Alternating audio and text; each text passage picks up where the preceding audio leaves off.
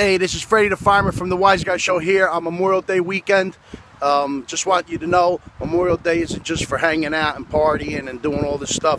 It's really about remembering those who lost their lives in the line of duty, those who lost their lives in the fight for freedom, and those who are closest to us that are no longer with us it's to remember all those, you know. So when you're at the barbecue this weekend, seriously, just uh, grab yourself a drink with your buddies and your family. Toast to those who are no longer with us. There's a lot of people who fought for freedom and uh, gave the uh, extreme sacrifice to lose their lives so we can enjoy ourselves this weekend.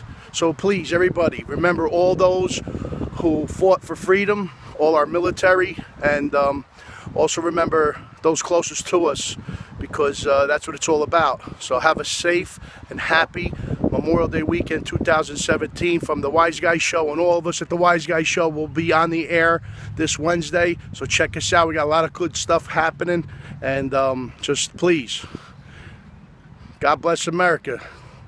Remember all those who fought for freedom so you can have a barbecue this weekend.